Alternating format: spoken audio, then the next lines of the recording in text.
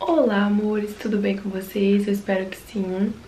Já adianto que eu estou com essa carinha inchada porque eu acabei de acordar e eu estava sentindo de falar esse testemunho pra vocês. Antes de começar a falar sobre o meu testemunho, eu gostaria de ler um versículo pra vocês. Pra vocês. em Eclesiastes 3. Tudo tem o seu tempo determinado e há tempo para todo propósito debaixo do céu. Há tempo de nascer, tempo de morrer, tempo de plantar, tempo de arrancar o que se plantou, tempo de matar, tempo de curar, tempo de derrubar, derribar e tempo de edificar, tempo de chorar, tempo de rir, tempo de prantear e tempo de saltar, tempo de espalhar pedras e tempo de ajuntar pedras, tempo de, de abraçar e tempo de afastar-se de abraçar. Gente, lê lá que vocês vão, vão sentir Deus que tudo na nossa vida tem um tempo determinado e não adianta a gente tentar adiantar as coisas, a gente tentar evitar certas coisas, porque a gente tem que passar por certas coisas em nossa vida. E o meu testemunho, gente, começou na minha infância, então tem que voltar lá atrás para falar para vocês. É, minha mãe e meu pai eram casados, mas eles não deram muito certo. Minha mãe sofreu muito e, e aí eles se separaram. E aí nisso, a minha guarda é, ficou uma briga na justiça com quem ia ficar e tal. E minha guarda, o juiz decidiu ficar com a minha mãe, com a minha, com a minha avó. E aí nisso eu fiquei morando com a minha avó dos meus dois anos até os meus dez anos. E a gente morava no interior do Ceará, bem no interior mesmo, na cidade, se eu não me engano é Lagoa de Santana.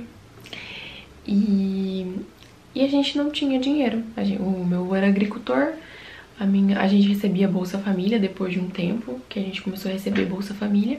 E era bem pouco, então não dava pra sobreviver muito, né? Com luxo, com nada, essas coisas.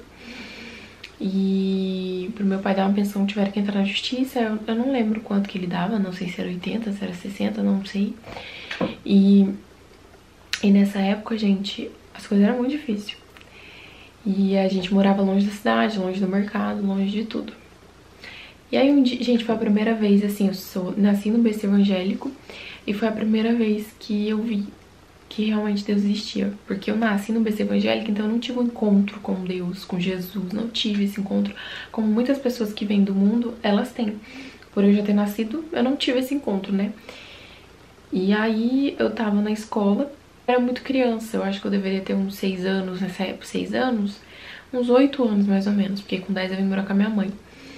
E aí eu pensei, né? Eu falei, meu Deus, que vontade de, de comer uma banana. E aí nisso, gente, né? Eu vim embora.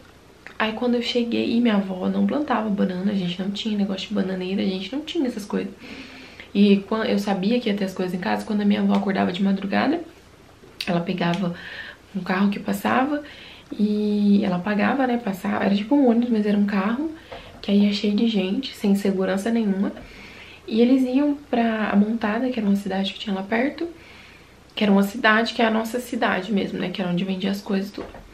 E aí quando ela retornava, e aí eu já sabia, né, que ela foi de madrugada, então sabia que ia ter coisas boas pra comer. E aí, nesse dia, minha avó não foi, eu sabia que ela não tinha ido. E aí, quando eu retornei pra casa, eu peguei, ela tinha uma peneira, uma, acho que é peneira que fala, gente. Lá eu lembro que era peneira, que ela colocava em cima. Lá onde eu morava era peneira. E ela colocava, era de plástico assim. E aí quando eu puxei a peneira que eu vi a banana que eu tinha pedido. Eu tava na escola e eu tinha pedido. Eu tinha falado com Deus, né, em pensamento. É, e aí eu falei pra Deus que eu tava com, com muita vontade de comer banana. Quando eu levantei, que eu vi aquela, aquela banana, eu não eu fiquei assim, meu Deus. Pra vocês terem ideia como foi tão impactante pra mim que eu nunca esqueci isso. E quando eu levantei, que eu vi aquela, aquela banana, eu falei assim, meu Deus, eu não tô acreditando, Deus existe. Porque eu tinha pedido pra Deus que eu tava com muita fome. E a gente passava fome, gente, a gente passava muita necessidade, muita necessidade. E aí quando eu levantei, e eu não sei de onde aquela banana apareceu, porque minha avó não tinha ido no mercado. Eu não sei, gente, eu sei que aquela banana tava ali. E na hora que eu olhei aquela banana, tipo, eu não acreditei.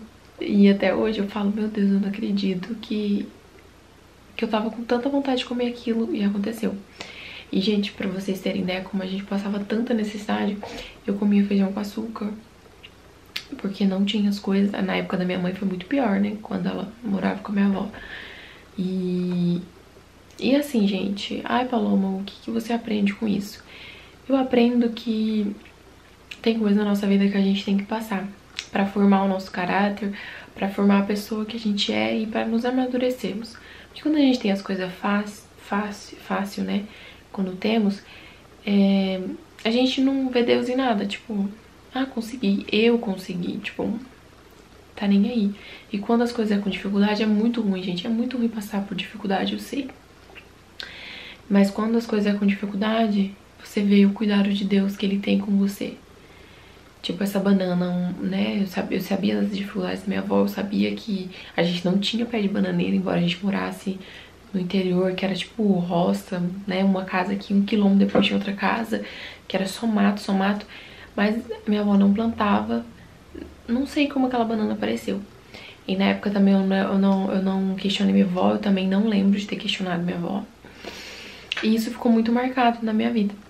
Sabe, Deus estava colocando muito esse testemunho pra mim, no meu coração, pra mim falar, fazia um tempo. E aí foi a primeira vez que eu vi que Deus, né, que realmente Deus existia.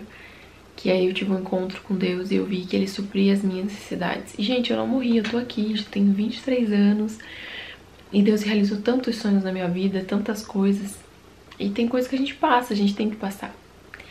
E a gente tem que ser forte que a vida é difícil. No mundo a gente vai ter muitas aflições, mas a gente tem que ter um bom ânimo, que a nossa vida vai ser no céu, que a nossa alma vai ter um descanso no céu. Gente, mas muitos devem pensar, nossa, Paloma, mais uma banana, você viu que realmente Deus existia, né? Porque sempre tem gente pra criticar a gente. Sim, gente, eu vi através de uma banana, porque só eu e meus parentes próximos sabiam a dificuldade que a gente passava. Então, aquilo que eu pedi na escola para Deus, que eu estava com fome, que eu estava com vontade. E Deus foi lá e supriu a minha necessidade. E, e, eu vi o cuidado de Deus comigo. Embora eu passasse por tantas, tantas coisas, eu vi o cuidado de Deus. Então, assim, gente, até Jesus sofreu aqui. Jesus sofreu, sofreu, sofreu. Quem dirá nós não sofreremos, né? E, e eu falo desse testemunho para edificar a fé de vocês que eu era uma criança, eu não entendia as coisas, eu não sabia quem que era Deus, quem que era Jesus, não sabia dessas coisas, gente. E ali eu vi o cuidado de Deus comigo. E até hoje Deus tem esse cuidado comigo. E, e o meu intuito com, com, esse canal é sempre edificar a vida de vocês, fazer com que vocês cheguem mais para perto de Jesus, que mais perto dele vocês vão ver coisas extraordinárias. Então é isso, gente. Um beijo e até o próximo vídeo. Tchau!